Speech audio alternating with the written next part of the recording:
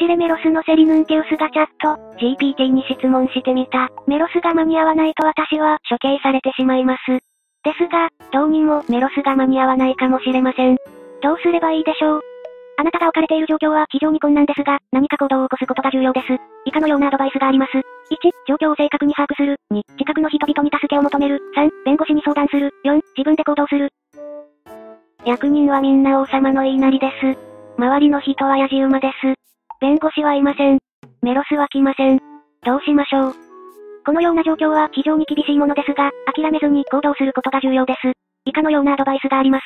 1、相手の立場を考える。2、自分で解決策を見つける。3、時間を稼ぐ。4、最後まで諦めない。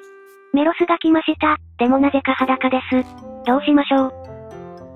この状況は非常に奇妙で、混乱してしまうかもしれませんが、まずは冷静に対処することが重要です。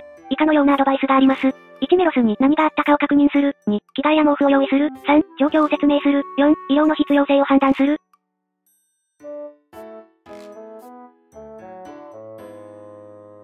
女の子がメロスにマントをくれました。メロスはひどく赤面してます。なんだこいつ。女の子がメロスにマントをくれたことによって、彼が赤面してしまった可能性があります。これは、彼が恥ずかしさを感じたり、感謝の気持ちを表現するための反応かもしれません。しかし、彼が、なんだこいつ、と言ったのは、失礼な表現かもしれません。女の子が善意でマントを送ってくれたことに対して、感謝することが重要です。礼儀正しく、謙虚な態度を取ることが大切です。あ、なんだこいつ、と思ったのは私です。セリヌンティウスです。申し訳ありません。誤解を招く回答をしてしまいました。セリヌンティウスさんが、なんだこいつ、と思ったのであれば、その理由について考える必要があります。女の子がメロスにマントを送ってくれたことによって、セリヌンティウスさんが何か感じたのでしょうかもし、彼女がメロスに好意を持っていると感じた場合、セリヌンティウスさんは嫉妬や不安を感じた可能性があります。また、セリヌンティウスさんが彼女を知っている場合、彼女が危険な人